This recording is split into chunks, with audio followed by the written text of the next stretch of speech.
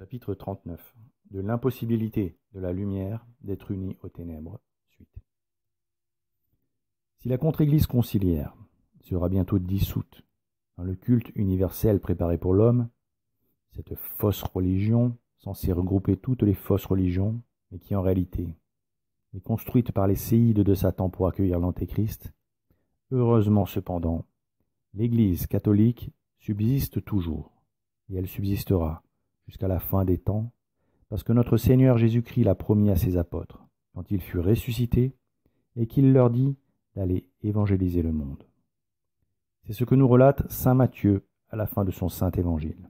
Allez donc, et instruisez tous les peuples, les baptisant au nom du Père et du Fils et du Saint-Esprit, et leur apprenant à observer toutes les choses que je vous ai commandées. Et assurez-vous que je serai toujours avec vous jusqu'à la consommation des siècles. Aujourd'hui, il ne reste qu'un petit nombre de fidèles, repliés dans les catacombes. Comme les premiers chrétiens, ces catholiques se sont organisés pour sauvegarder le dépôt de la foi. Sidérés par les événements, certains ont refusé d'entrer dans l'Église post-Vatican II. D'autres en sont sortis plus tard et les ont rejoints, comprenant que cette nouvelle secte n'a que les apparences extérieures de l'Église catholique.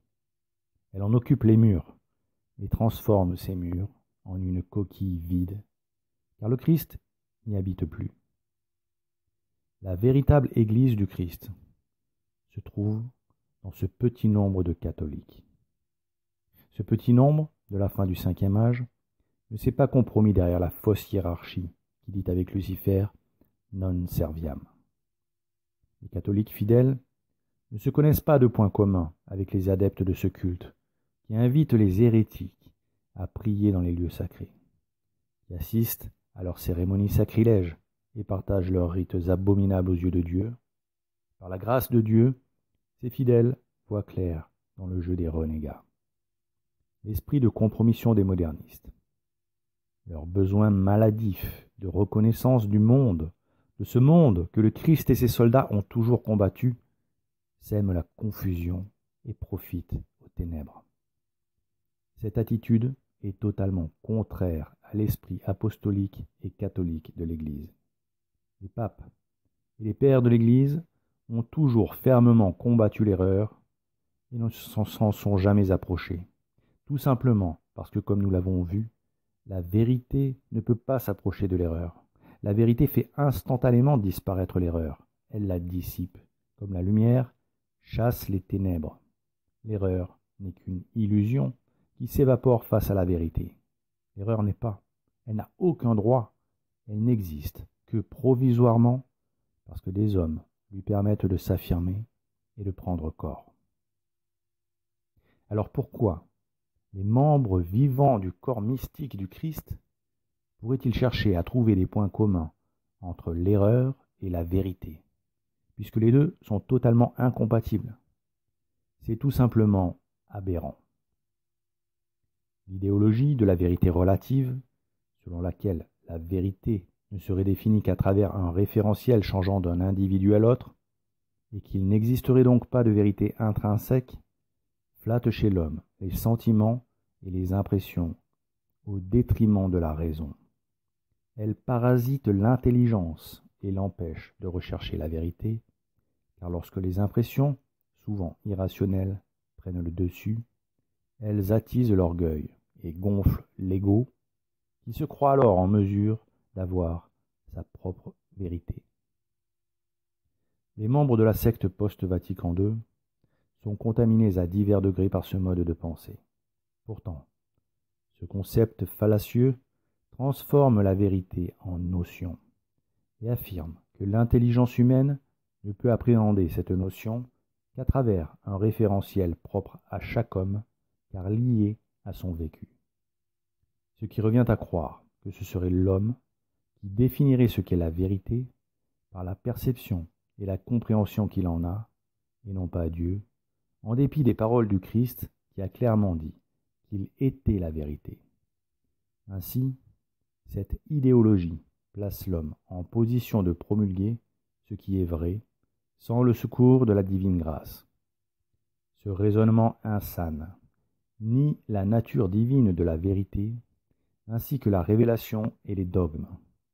En laissant entendre que chaque homme aurait sa propre vérité, il les empêche de rechercher la vérité, qui est le Christ. Cette prise de position orgueilleuse conduit à la prévarication. Chaque homme qui l'adopte s'attribue la place qui revient à Dieu et sombre dans les ténèbres de Satan. On peut donc affirmer que les membres de la secte post-Vatican II construisent main dans la main avec les francs-maçons une contre-église de ténèbres qui encourage l'erreur et exalte l'orgueil en flattant l'individualisme. Peu leur importe les enseignements du Christ, peu leur importe ces paroles de Saint Paul qui dit ceci Vous n'êtes tous qu'un corps et qu'un esprit.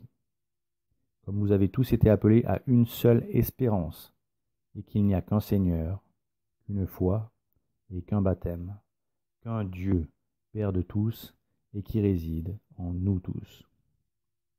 La contre-église post-Vatican II n'est pas une, mais elle est multiple. Elle n'est pas apostolique non plus, puisqu'elle reconnaît aux adeptes des fausses religions et aux hérétiques la liberté d'exercer leur culte et ne cherche pas à les détourner de l'erreur qui les entraînera en enfer. De même, elle n'est plus sainte, puisqu'elle ne possède ni la vérité, ni la charité, dont le zèle apostolique est l'expression tangible.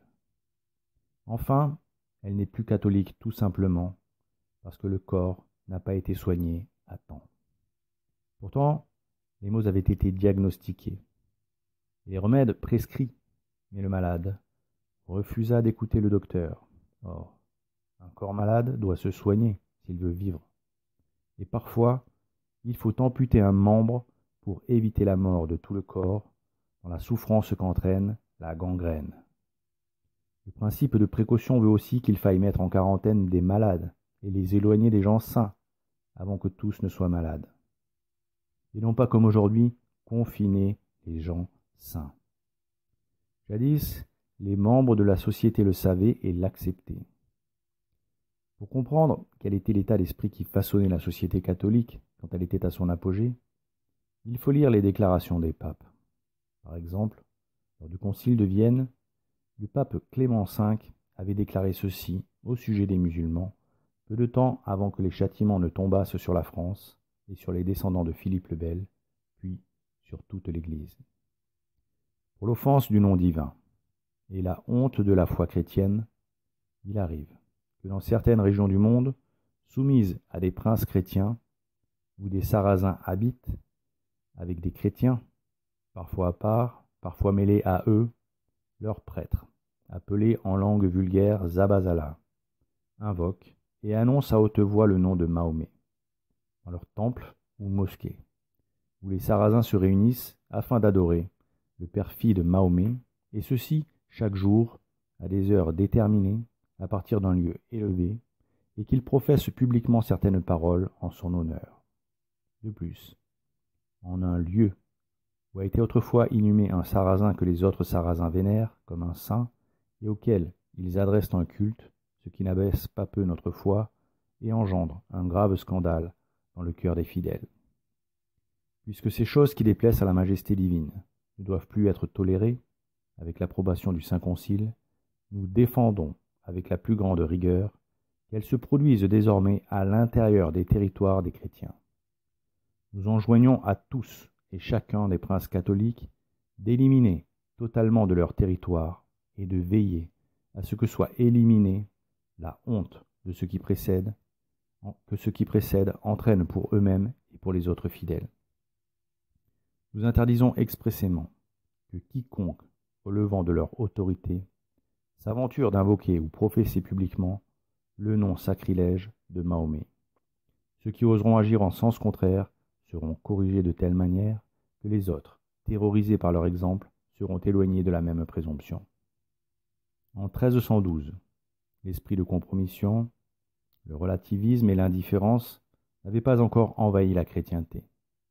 Le discours ne souffrait pas d'ambiguïté, il était clair et sans détour.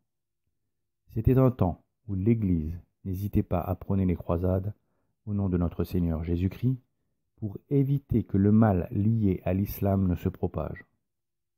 Et les rois firent la sourde oreille aux demandes du pape. Ils ne voulurent plus servir, s'estimant au-dessus du pape en ce qui concerne les affaires temporelles. Ainsi les princes refusèrent de s'unir derrière la croix pour lancer une croisade contre l'hérésie musulmane, et une fois l'ordre du temple détruit, il ne fut plus possible de constituer une armée chrétienne plurinationale. De ce manque d'unité découlèrent des luttes fratricides qui aboutirent à l'affaiblissement de la chrétienté et à l'abandon des terres saintes et de leur population chrétienne à l'ennemi. Le monde chrétien ne s'en releva jamais vraiment.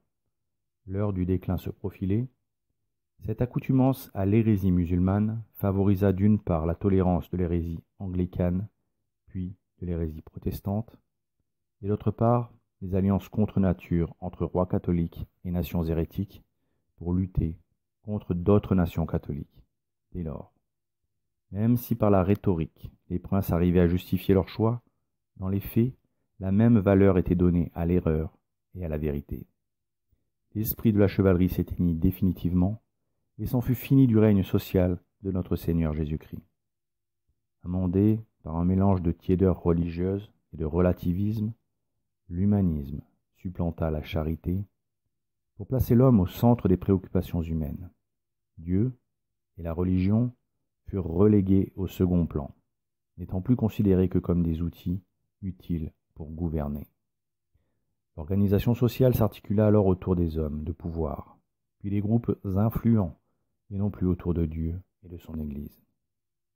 La religion se transforma en conformisme religieux, comme au temps où survint le Messie, et elle devint aux yeux des hommes de pouvoir un vecteur de cohésion sociale, très utile aux gouvernants, mais est Dieu dans tout cela.